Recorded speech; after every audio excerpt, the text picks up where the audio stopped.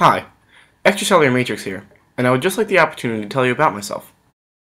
I am a hardworking organelle composed of structural proteins, specialized proteins, and proteoglycans.